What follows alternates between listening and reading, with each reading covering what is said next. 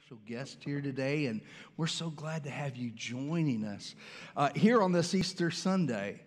So, um, I heard the story of a husband and wife that had been married for 57 years, but it was a not an attractive relationship. And in fact, uh, the husband would say, She just tears me apart all the time, just bickers and complains. I can't do anything right. And so on their 60th anniversary, he decided, Well, maybe what I'll do is she's always wanted to go to Jerusalem, go where Jesus was. So I'm, I'm going to take her there. Maybe, maybe she'll lighten up a little bit if I do that.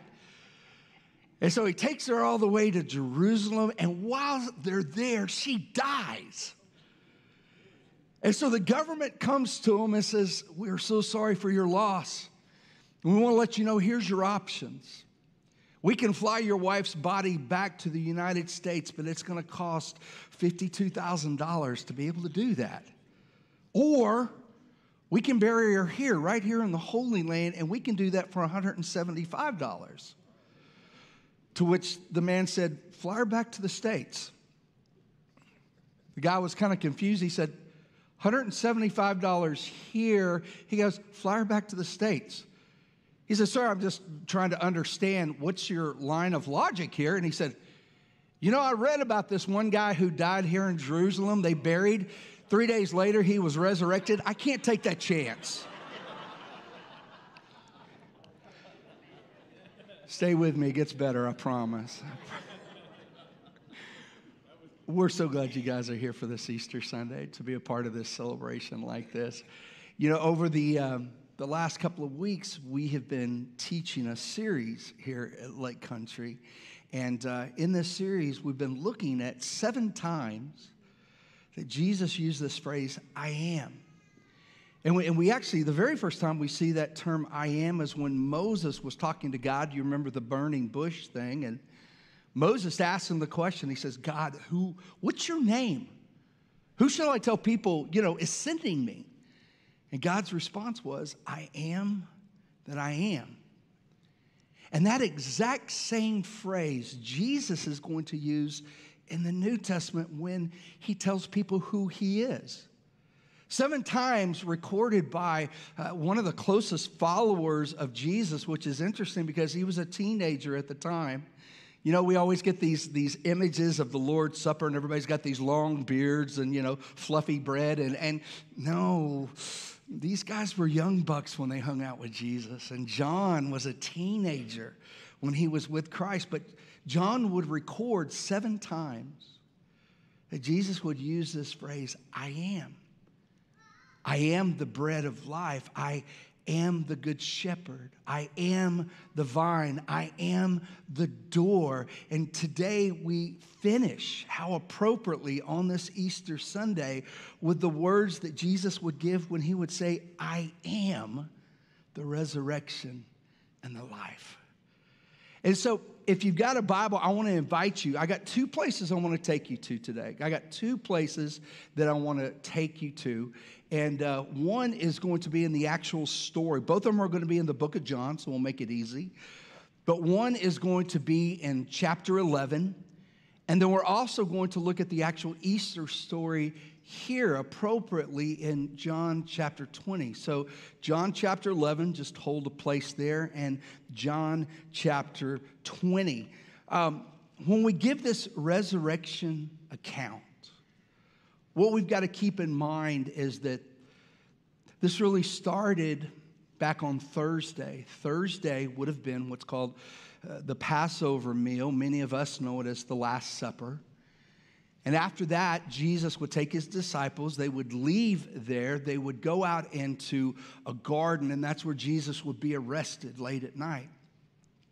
They would take Jesus and Later, in the next day, early in the next day, there were several court cases, illegal court cases, that took place to try Jesus. You see, even though the Jews wanted him put to death because he claimed to be God, the only way that they could put somebody to death is with Roman approval because they didn't have that authority. So Jesus went through the trials, and the people screamed, Crucify, and Rome finally just went, Fine, we're washing our hands of this. Put him to death. And the scripture tells us that how on that Friday, about nine o'clock in the morning, he would have been crucified on this place called Golgotha, Calvary, the place of the skull. And he would be crucified there, and, and for six hours that Friday, Jesus would hang suspended between heaven and earth.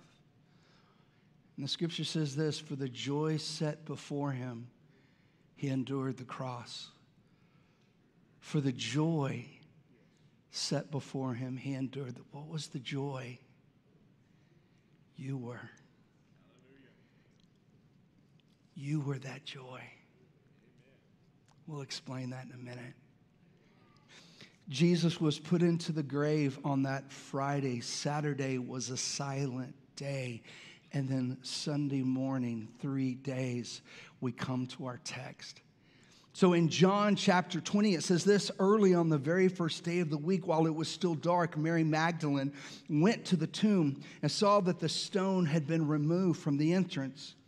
So she came running to Simon Peter and the other disciples, the one that Jesus loved. Okay, just real quick, I got to hit this. The one that Jesus loved. Who is that? It's the guy writing this book.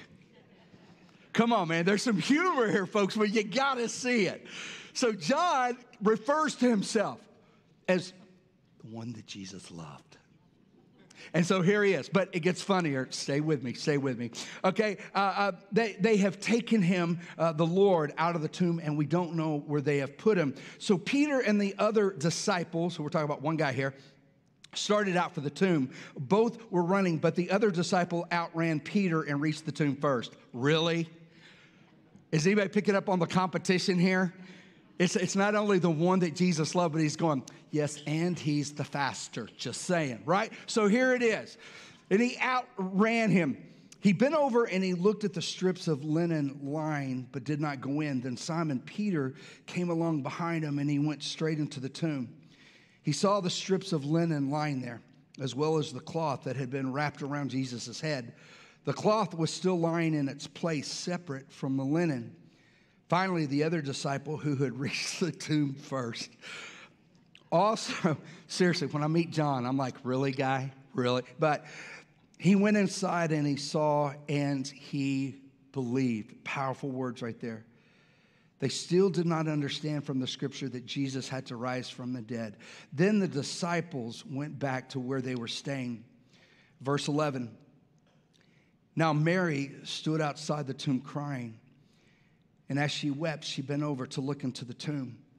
And she saw two angels in white seated where Jesus' body had been, one at the head and the other at the foot. They asked her, Woman, why are you crying? They've taken my Lord away, she said, and I don't know where they've put him. At this, she turned around and she saw Jesus standing there, but she did not realize that it was Jesus. He asked her, Woman, why are you crying? Who is it that you're looking for? Thinking he was the gardener, she said, Sir, if you have carried him away, tell me where you have put him, and I will get him. Jesus said to her, Mary. She turned around and cried out in Aramaic, Rabboni, which means teacher. Jesus said, Do not hold me, for I have not yet ascended to the Father. Go instead to my brothers and tell them, I'm ascending to my Father and your Father, to my God and to your God. Mary Magdalene went to the disciples with the news, I have seen the Lord. And she told them what, what, what the things that she, they had said to her. Now, what we want to be able to see here is this is that Jesus had told everybody, he had told especially his disciples the cross was not a surprise, definitely not to, to Jesus. He knew the cross was coming, that's why he was sent. But he told his disciples left and right what was going to be taking place. He let them know, I'm dying for the sins of the world. He let them know, I'm going to be arrested. I'm going to be put to death. He let them know, I'm going to be hung, crucified on a cross. But three days later, I'm going to be resurrected. So he shared this story with them left and right. Now, let me take you to our other text. Other text that we're going to look at is in John chapter 11. And so if you've got your Bibles, flip over to that John chapter 11 because we're going to go into the story and you're going to see how they tie together.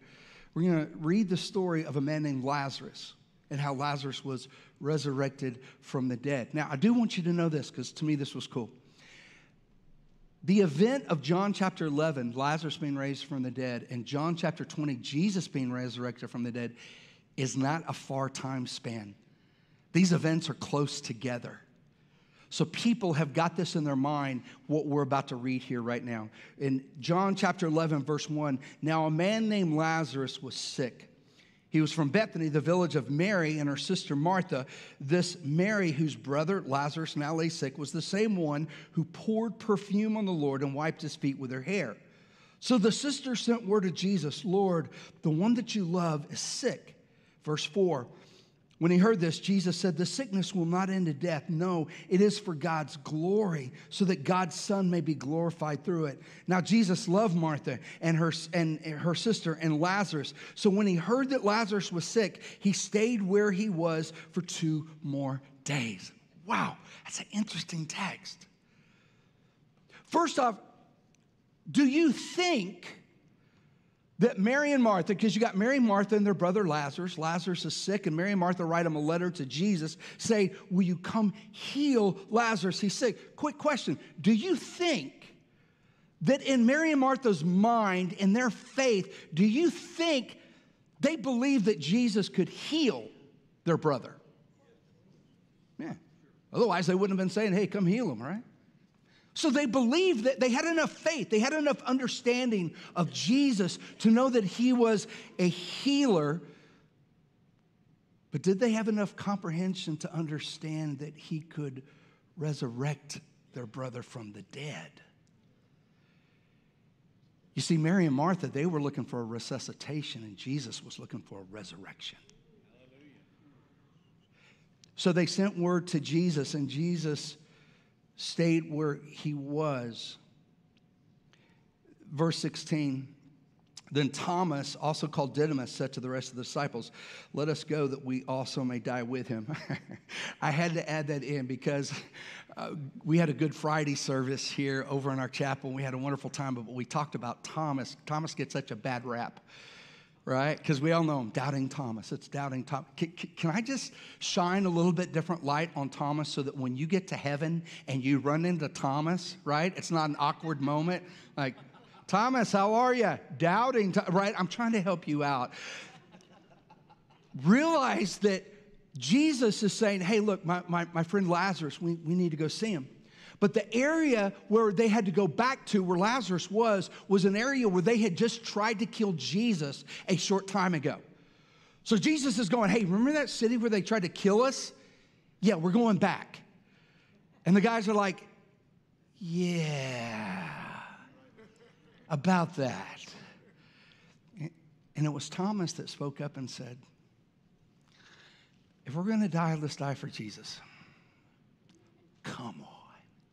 So they make the trip back. And, and the scripture in verse 17 is actually going to say this on his arrival jesus found that lazarus had already been in the, day, in the tomb four days. Why is that important? Why is that text even in there that lazarus was in the ground for four days? For, for this simple reason the jewish people believed that the spirit would leave a body but then would hover. And for about four days the spirit would hover over the dead body and could come back in at any time. So Jesus made sure that it was four days so that people knew it was by the power of God of what they're about to experience. Verse 20, shoot down to verse 20. When Martha heard that Jesus was coming, keep in mind Lazarus is dead four days now, he's already in a tomb. When Martha heard that Jesus was coming, she went out to meet him, but Mary stayed home. Verse 21, Lord, Martha said to Jesus, if you had been here, my brother would not have died. Now, can I tell you something? That's not a compliment. That's not a compliment that she's going, you know what? You're powerful. And had you been here, I know you couldn't. No, it was a dig. She was saying that if you'd have been here, my brother wouldn't have died. Have you ever been there with God? Have you ever been there with God where you shook your fist or you didn't understand why the divorce, you didn't understand why the death? You didn't understand why the firing. You didn't understand why the bad doctor's report. Have you ever been at a place where you're going, God, I don't understand? Have you ever been at a place, whether it was physically out loud or just inside, where you shook your fist at God and said, Why? I don't get it. I don't understand. Why would you do that? I know I have. But can I share something just real quick? When you don't understand his way, trust his heart.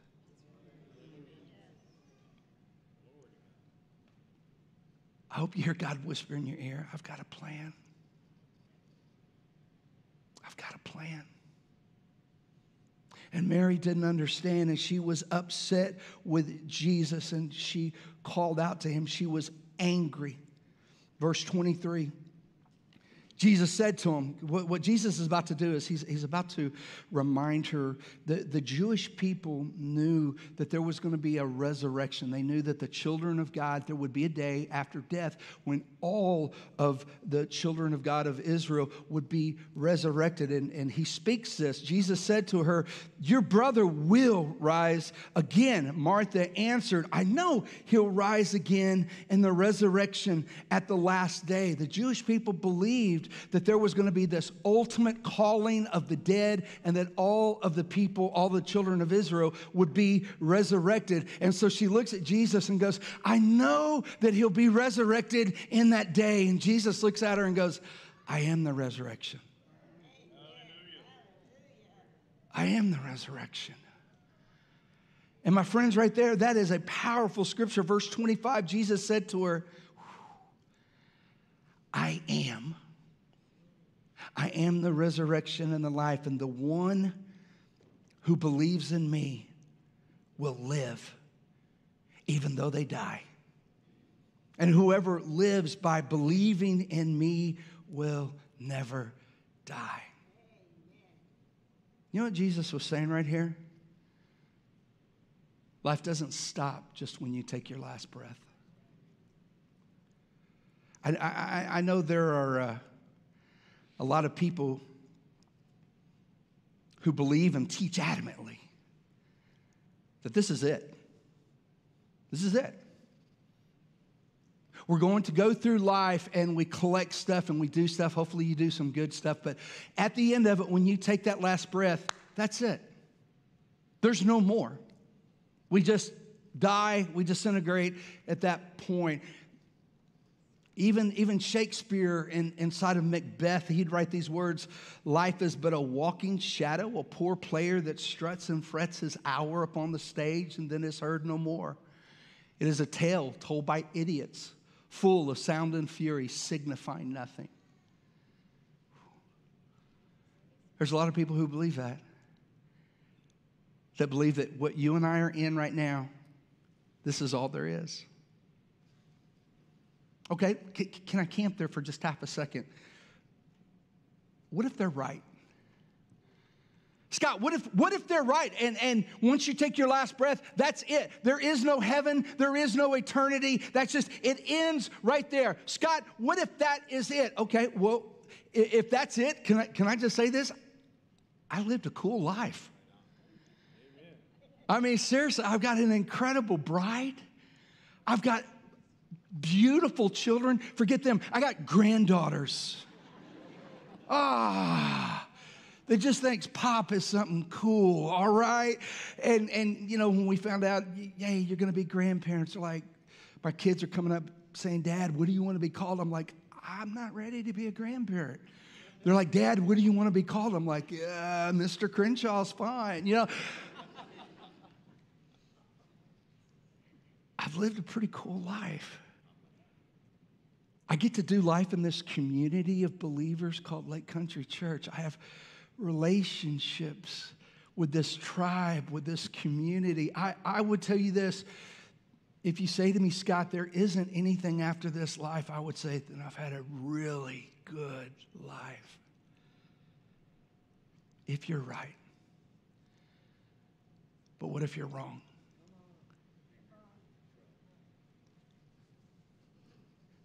What if you're wrong? And there is an eternity that we are a part of right now. Eternity, can I say this? Eternity doesn't happen when we die. We're already in eternity. We're in the process of it. All we're simply going to do is transition from one place to the next. It's literally if I walked off this platform and I walked out of this room and I walked out into the hallway, that's what death is like. You're going to transition. The question is, where will you transition to? So when Jesus said these words, he said, I am the resurrection. What he was simply saying was this there's more to it than just this. And I am that resurrection that will take you into the next chapter. Well, Scott, what, what, what, what do you mean, the, the, this next chapter? Okay, let me just hit it very simply like this God created every single one of us. He created, you were created. Scripture talks about it left and right that He has a game plan for you and He created us. Just like Adam and Eve, He, he created them and He put them in the garden, and that, and that garden is a beautiful picture of, of, of relationship, of intimacy. And it was inside of the garden. I'll, just stay with those guys for half a second. It was inside of the garden that Jesus pointed out. He said, Everything in this garden, baby, it's yours. It's yours. I got one tree. Stay away from it. Well, why do you do that? Because it's a choice. You see, love without a choice is not a choice. You become a robot. So God had to give a choice. When he pointed the tree in the garden, he said, Look, you choose. You choose to do life your way, or you choose to do life my way.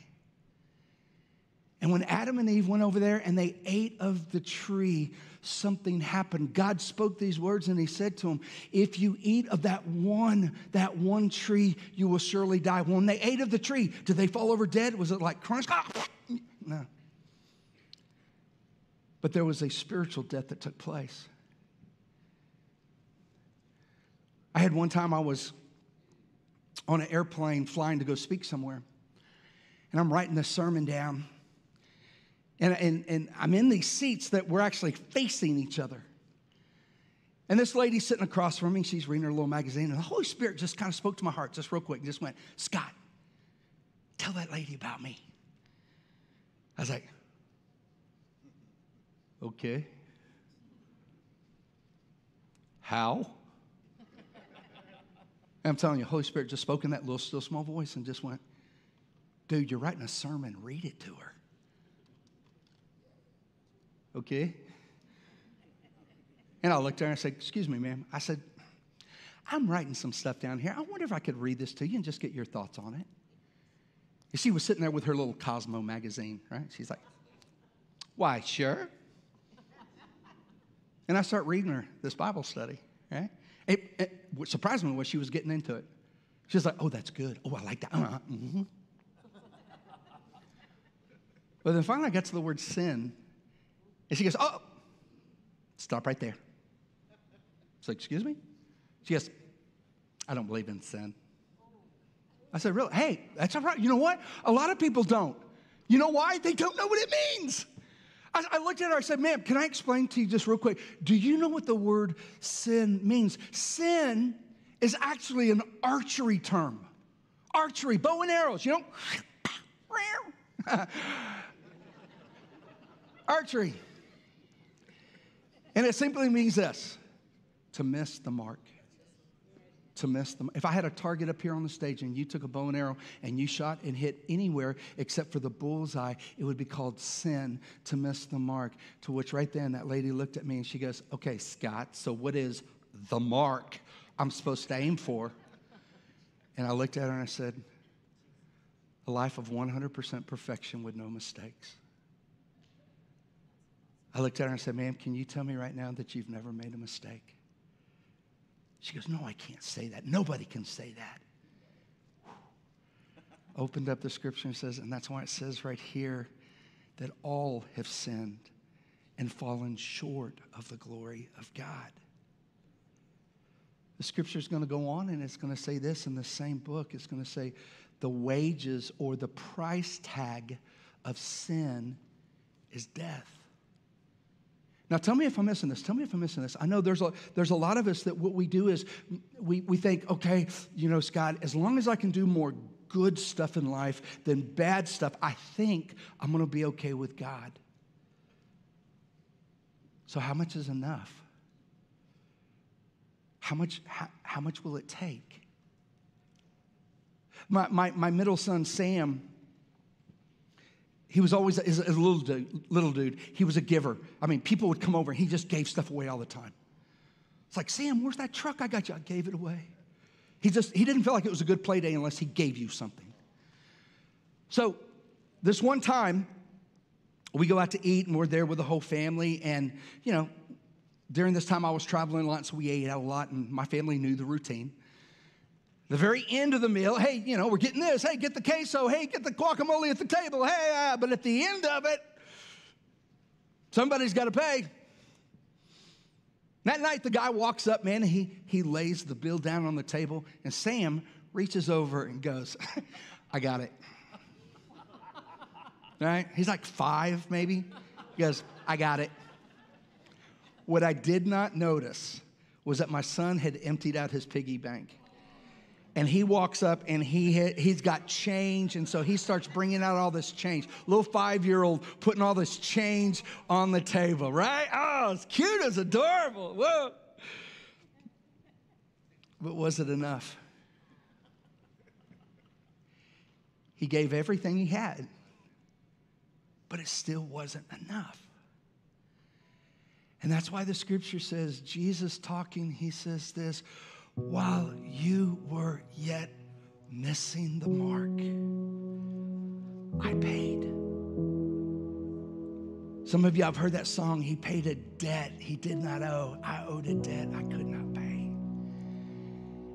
And when Jesus shed his blood, he took all of your jealousy, your bitterness, your envy, your materialism, your drugs, your pornography, he took that all upon himself. And he, he said this I got it. I got it. And there would probably be a lot of us in this room right now that would say, Oh, Scott, I love that story. I've heard that since I was a kid. Yeah, I know that. Yeah.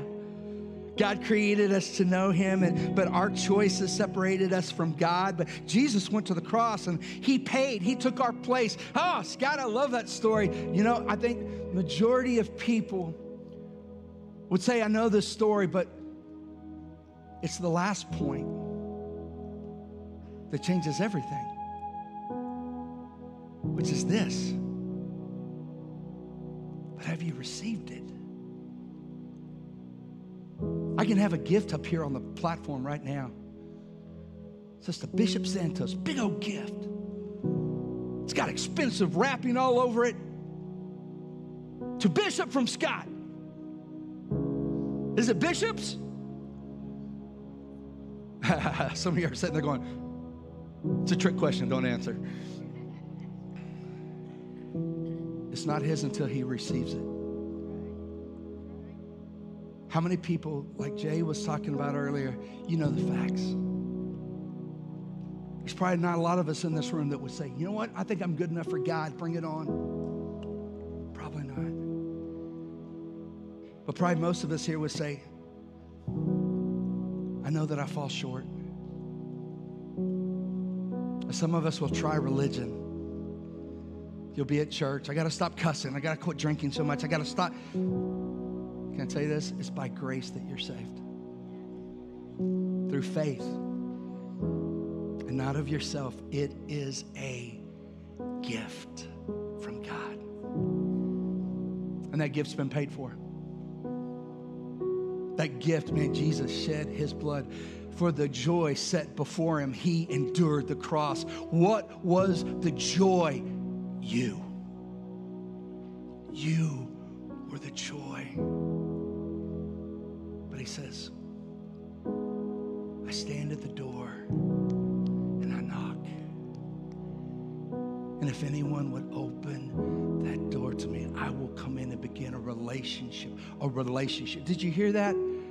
Because so many times we think, we'll enter in and then I become Baptist, I become Catholic, I become Caris. No, you become His. Jesus said, I'm the resurrection there's more to it than this. And I am that resurrection. But he also said this I'm the life. The resurrection means you can trust me for eternity after this life. When he said, I'm the life, that means we can trust him with the life that we're living right now.